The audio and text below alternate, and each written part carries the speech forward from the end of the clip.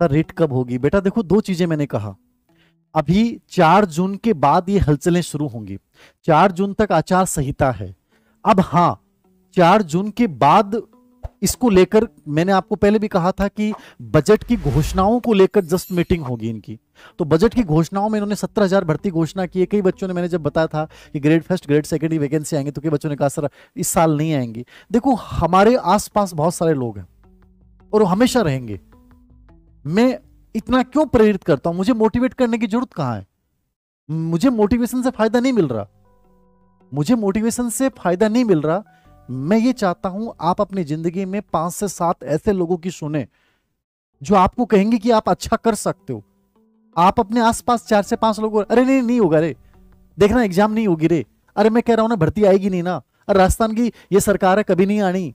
देखना, शिक्षा मंत्री ऐसा, ये हो जाएगा। तुम दस लोगों की बात दस में, दिन में ये दस सुन लोगे ना, तुम्हारा पूरा दिन खराब चला जाएगा। और एक दिन खराब जाने का मतलब एक दिन खराब नहीं होता है। वो एक दिन पूरे महीने को प्रभावित करता है और तुम्हारा एक महीना तुम्हारे पूरे वर्ष को बर्बाद कर देता है और तुम्हारा एक वर्ष तुम्हारी पूरी ज़िंदगी को बर्बाद कर देता है। ज़िंदगी में उन पाँच से सात लोगों को हमेशा अपने आसपास रखो। जो हमेशा ये कहें, आएँगी क्यों नहीं? क्या वैकेंसियाँ रिक्त पद खाली नहीं है? हंड्रेड परसेंट पद खाली है तो आएँगी वैकेंसी राजस्थान में नहीं आएँगी यार, मैं सेंटर में लग जाऊँगा। और हर दिन भर्तियाँ निकलती हैं, किसी न किसी डिपार्टमेंट में। राजस्थान क्यों? पूरे भारत के किसी न किसी डिपार्टमेंट में हर दिन कोई ना कोई भर्ती निकलती है। यदि तुम पॉजिटिव हो, तुम आशावादी हो तो तुम निकाल पड़ोगी किसी भी अंधकार से। और तुम उन लोगों की बातें सुन रहे हो, मैं कमेंट्स पढ़ता हूँ आप लोगों के यूट्यूब पे।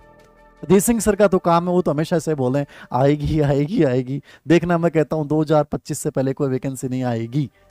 पाँच लोगों की ऐसी बातें सुन लोगे ना, अपनी ज़िंदगी को बर्बाद कर बैठोगे।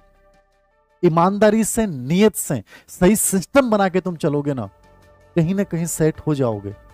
और प्राइवेट जॉब के लिए टाइम है आपके पास। बिज़नेस करने के लिए टाइम है। बिज़नेस का यदि आपका माइंड ओरिएंटेड है तो फिर यहाँ मत घुसिए। फिर वहाँ अपनी पूरी स्टेमिना पूरी ऊर्जा वहाँ झोंकिए। और यदि ये आपका सपना है कि मुझे गवर्नमेंट जॉब में निकलना है तो फिर ऐसे लोगों की बातों पे ध्यान मत दो। जो ये आपको डरा रहे हैं किसी न किसी रूप में, ऐसा हो जाएगा, देखना आप तो इसके आधार पे भर्ती हो जाए। अरे, किसी पे हो जाए, मैं लड़ूँगा, मैं सामना करूँगा, कर लूँगा यार। और एक परिवर्तन किसी एक बच्चे के लेकर नहीं होता है, सबको लेकर होता है।